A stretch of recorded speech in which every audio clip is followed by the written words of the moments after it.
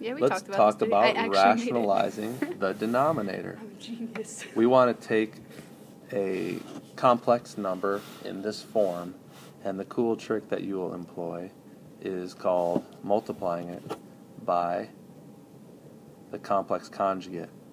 And the complex conjugate is simply, like I have mentioned to you in a previous video, if you watched the previous video, complex conjugate is just switch the number, switch the sign of the imaginary part of that complex number.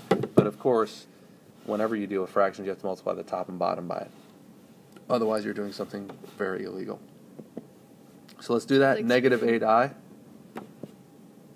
minus 24i squared. Now that's going to turn into a negative 1. So that's going to become a positive Oh, 24. Oh. And then the bottom, watch how cool this is. It becomes 1. sure?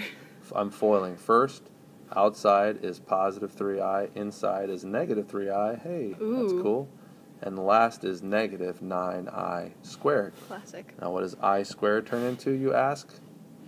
Positive It nine. turns into negative 1.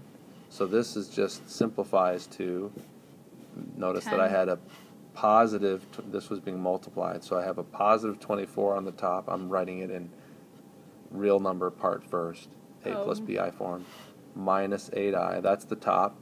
And on the bottom, I've got 1 minus a negative is plus a positive. So plus a positive. or a negative times a negative is a positive, so that becomes 10. Yeah.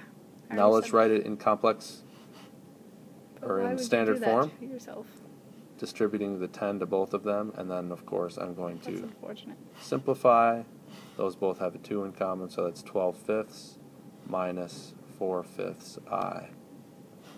And there's your number. That's what this number, that number right there, that original red thing, is equivalent to that. That's the standard form of a complex number for that particular fraction. Peace out.